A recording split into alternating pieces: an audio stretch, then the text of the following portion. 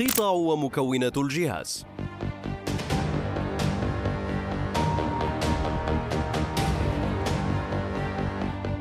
حقيبة الحمل.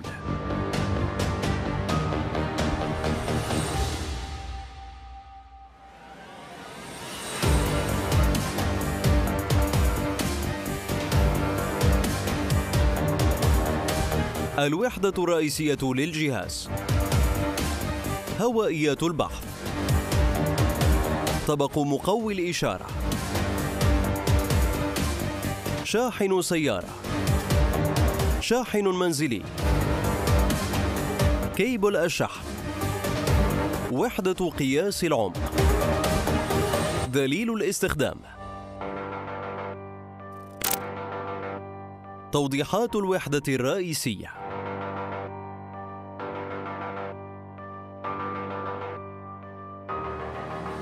حساسة تقوية الإشارة.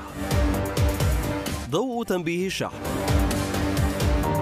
مدخل الشاحن. علبة البطارية. زر إيقاف وتشغيل الليزر. شعاع الليزر. هوائيات البحث.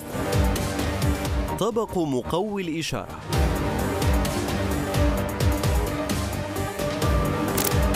توضيحات لوحة التحكم.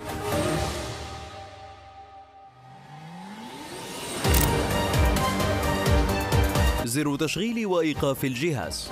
زر الأسفل. يمكن الدخول إلى ضبط التردد عبر الضغط مطولا على الزر. زر الأعلى. يمكن كتم الصوت عبر الضغط مطولا على نفس الزر. زر الدخول والاختيار.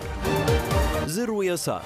يمكن التحكم بإضاءة الشاشة عبر الضغط مطولا على نفس الزر.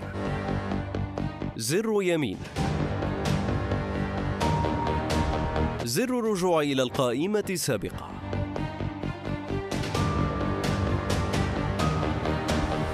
بعد الضغط على زر التشغيل ستظهر الشاشات التالية.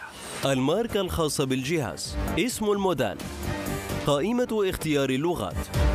بسبب الانتشار الكبير للجهاز تم تزويد الجهاز بثمان لغات عالمية. تتيح لأي مستخدم استخدام الجهاز بسهولة. قائمة أنظمة البحث. يمكن اختيار النظام المناسب ثم الضغط على زر الدخول من لوحة التحكم.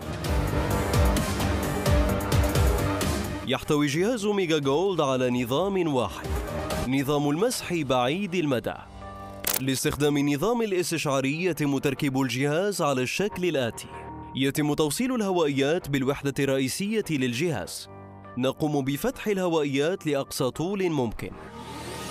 يمكن ضبط توازن الهوائيات من رأس الهوائي عبر تدويره باتجاه اليمين واليسار حتى يكون الارتفاع واحدا بين الهوائيين. نقوم بتشغيل الجهاز بالضغط على زر التشغيل. بعد اختيار لغة من قائمة اللغات نقوم باختيار نظام المسح بعيد المدى.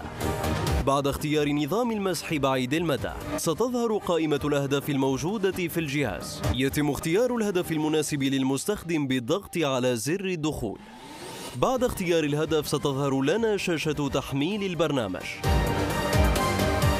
وسيظهر بها اسم البرنامج الذي قمنا باختياره مع جدول المسافات والأعماق. يمكن التبديل بين المسافات والأعماق عبر أزرار أعلى وأسفل. يمكن تغيير ضبط تردد دقيق عبر الضغط مطولا على زر الأسفل حتى سماع نغمة مختلفة. وتبديل القيمة بأزرار اليمين واليسار. يمكن للمستخدم زيادة أو إنقاص وتيرة التردد إلى 12 هرتز. معدل زيادة 1 هرتز لكل ضغطة. يفضل ترك التردد الدقيق على الضبط المصنعي بقيمة صفر.